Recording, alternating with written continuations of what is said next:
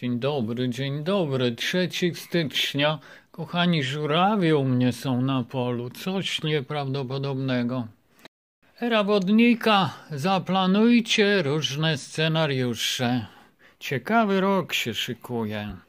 No i era wodnika nam takie rady daje. Kochani, ufajcie swojemu ciału, które was prowadzi przez ciężkie czasy. W 2023 roku przyspieszajcie swoje życie i osiągajcie to, co chcecie. Nie czekajcie, aż to przyjdzie do was. Podążajcie za tym. Zaplanujcie różne scenariusze, na przykład w przypadku braku prądu, generatory jako ratunek. Miejcie plany ewakuacyjne i pomyślcie o możliwościach, czy możecie się tam dostać z punktu A do punktu B bez pomocy z zewnątrz. Wyobraźcie sobie, że cała energia została wyłączona i trzeba dostać się do innego miejsca docelowego. Wyobraźcie sobie, w jaki sposób będzie można udać się w podróż. Czy macie benzynę, czy musicie spakować jedzenie, woda, rzeczy osobiste. Nie bójcie się, po prostu są to tematy do rozmyśleń. Trzymajcie gotówkę pod ręką, jakąś odpowiednią dla Was kwotę. Trzymajcie zapas niezbędnych dla Was medykamentów i tym podobne. Utrzymujcie spokój ducha. Zawsze niech on Wam towarzyszy. Utrzymujcie miłość w sobie, rozwiążcie swoje problemy, nie chowajcie urazy, przedyskutujcie wszystko, podejmijcie ugody. Ważne jest zbudowanie relacji niż grzęźnięcie w nieistotnych drobiazgach.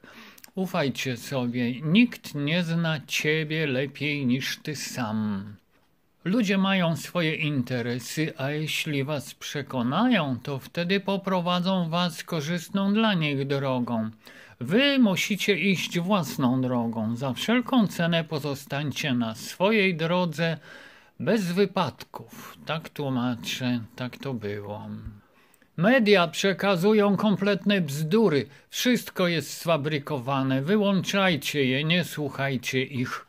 Powyższa lista jest jedną z możliwości, a nie konkretną i zdefiniowaną. Przyszłość zawsze się zmienia w zależności od tego, dokąd podąża zbiorowa świadomość. Ale wszystko, co im potrzeba, aby stworzyć falę możliwości, to strach. Tu mowa chyba o zarządcach Matrixa. W ten sposób mogą sprowokować działania w pożądanym dla siebie kierunku. Bądźcie przebudzeni, czujni i świadomi. To wy sami tworzycie własną rzeczywistość. Nie dajcie się wciągnąć fali. Możecie się przemieszczać po powierzchni jakiejkolwiek burzy. Nic nie powinno mieć wpływu na was. Wdzięczność wszystkim, którzy wspierają i udostępniają tę pracę. Odnośnie cudów jeszcze tych żurawi, to już oczywiście moje prywatne, pokieruję was. Wczoraj nocą się ukazał i ciekawa data, data, no tak, sygnaturka. Rok i e, godzinę zamieszczenia, popatrzcie. Kto troszkę patrzy na synchronię, to zauważy, co tam się stało. Cudowny list. Ja to odbieram jako proroctwo tutaj naszych, tych, którzy słuchają i tych, którzy odwiedzają bloga jako taką proroctwo, znak tego, co się będzie działo w naszym 23 roku. No widzę to tak, że będą się odnajdywać połówki, czyli to, co już tu wspomnieliśmy, myśl wysłana w kosmos, zamówienie.